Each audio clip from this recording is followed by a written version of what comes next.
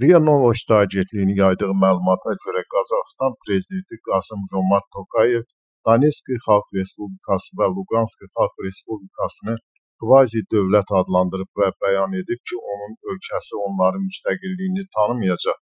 Qazaxıstan liderinin qənaətinə görə millətlərin öz müqəddəratının həlli prinsipinin geniş tətbiqi dünyada xaosa gətirib çıxara bilər.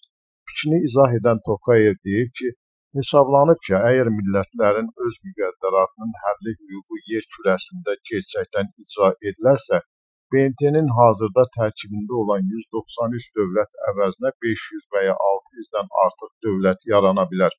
Əlbəttə, bu isə xaosa səbəb olar. Bu səbəbdən də biz nə Tayvanı, nə Kosovanı, nə Cənubi Osetiyanı, nə də Abxaziyanı tanımırıq. Çox güman ki, bu prinsipi kvazi-dövlət olan Donetsk və Luqanska da kamil edəcəyik.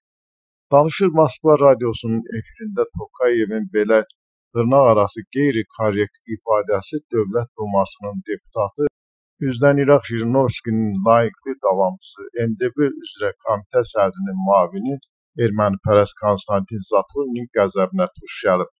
Belə ki, Zatulinə görə Rusiya Federasiyasının müttəfiqləri onlara sərfəli olanda əməkdaşlıqda maraqlıdırlar, sərfəli olmayanda onlar Rusiyanı dəstəkləmirlər.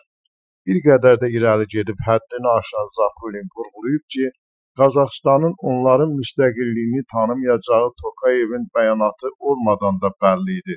Bunu Putinin iştirak etdiyi tədbirdə onun bəyan etməsi hesab edir ki, sanki bir səmimi etirafdır, amma zənnimcə bu nəzakətsizlikdir bu öz yanında olan prezidentə, yəni Putinə meydan oxumaq təsiri bağışlayır.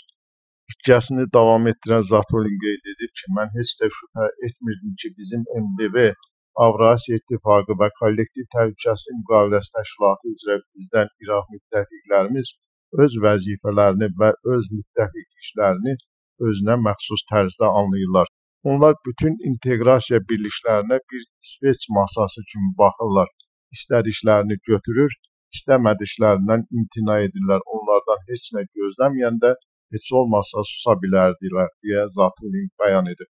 Jirinovskinin davamçısı Zatulin Qazaxstanı hədələməyi də unutmayıb. Onlar çox yaxşı bilir ki, əksəriyyəti rus əhalisi olan bir çox vilayətlər və yaşayış məntəqələrinin Qazaxstan adlanan məkana aidiyyatı yoxdur. Bu yerdə qeyd edək ki, vaxtilə Jirinovski də belə sərsəm ifadələr işlətmişdi. Son olaraq Zatulin lap gül vurub. Biz hər yerdə, o cümlədən Ukrayna ilə də bağlı deyirik ki, əgər bizimlə dostluq, əməkdaşlıq və tərəfdaşlıq münasibətlərində olacaqsınızsa, ərazi məsələləri qaldırılmayacaq. Ona görə də mənə elə gəlir ki, Qazaxstanda da məsələyə diqqət yetirilməyinə, yəni müharibəyə başlamağına dəyər.